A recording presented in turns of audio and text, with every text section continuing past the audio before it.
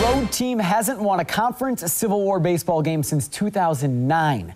That continued last night with a fantastic performance from Tommy Thorpe and a 3 0 Oregon win. Game two this afternoon, North Eugene grad Andrew Moore back in Eugene, going up against fellow freshman Cole Irvin. They both pitched well, scoreless still in the sixth. Beavers finally break through. Michael Conforto into the bullpen in left solo home run, his eighth of the year, 1 0 Beavers. Next inning, Ryan Barnes gets into one and puts it in pretty much the same place, just a little bit further to the right in left center, just over the wall. The second home run for the Beavers of the game. Barnes is first of the season, 2 0 Oregon State. That was all Irvin gave up through seven, but in the eighth, the floodgates opened up on the Duck bullpen. Andy Peterson, an RBI single. It's 3 0 Peterson, 4 for 5 on the day. Later in the inning, Danny Hayes, two RBI single. Peterson and Conforto score. Beavers plate five runs in the eighth, blow it open up 7 0, and that was plenty for Andrew Moore. Gets his first strikeout of the game to start the eighth inning.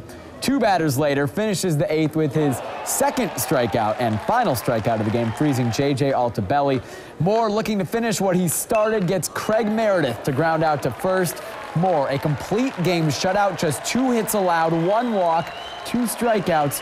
What a performance from the freshman Eugene native. Beavers win 9 0.